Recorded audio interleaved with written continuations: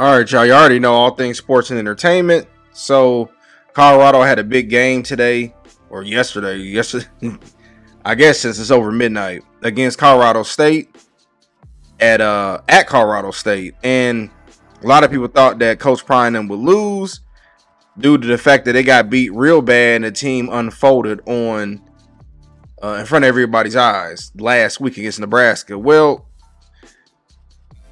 the game started out kind of sloppy for Colorado, honestly, and a lot of people thought Colorado was going to lose, especially on uh on X in the comment section. But due to the quarterback play for Colorado State and the great quarterback play of Shedeur, Shedeur went uh, uh 36 for 40, 49. He threw the, he slinged the ball 49 times. wow. 310 yards, four touchdowns, no interceptions. And Travis Hunter, who should win the Heisman, he had two touchdowns today and an interception. At this point, it don't even matter what your record, what their record is. He's clearly the best player right now. Player, not team, player out there. But uh them two kind of helped win. All the offense did really good. I don't remember really seeing Shedeur get sacked. I did see him under pressure, but I didn't see him get sacked. Colorado's defense was great as well. Like I said, they got a couple interceptions, and the critique that I would have is still they got a lot of penalties, a lot of penalties. Um, I did see one of the players score a touchdown and he celebrated. I feel like Coach Prime pulled him to the side and told him don't do that, which I don't have a problem with that. Um, because when you celebrating like that, you put more of a target on your back. And at this moment, Colorado just need to get every win that they can. But overall, it was a good win. It's always good to beat your rival. And I know a lot of people was waiting on Coach Prime to and Colorado to lose because it was going to be hell online today if he would have lost. But they won a pretty good fashion. Now they got a they, they got a schedule coming up.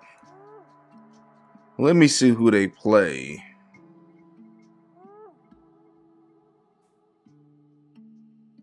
So they got Baylor. Baylor's coming to them next week. Then they go to UCF. So I mean, these are going to be with Baylor being a Big 12 team. We're going to be able to see whether or not did Colorado win because Colorado State is a uh, not a Power Five team. But you know, Baylor's in a same conference, going back to the big boys. And like I said, hopefully they'll be able to block and uh, let Shedeur get the ball off. I did see a couple of times where Shedeur held the ball a little bit too long, and I've been critical of him for that because when you get to the league, you got to get that ball quick.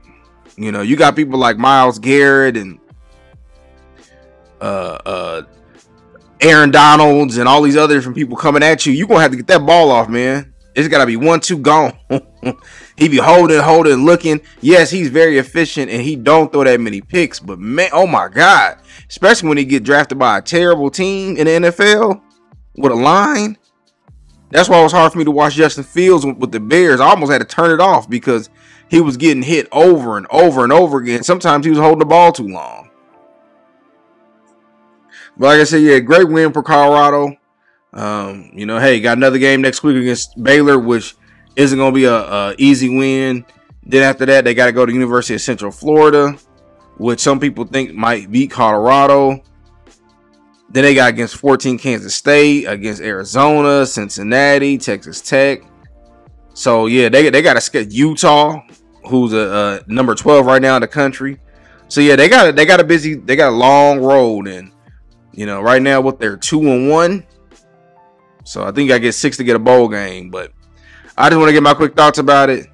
Do y'all think that Colorado is still overrated? A lot of people are saying it. Do y'all think that they're going to make a playoffs or a bowl team? Let me know what y'all think.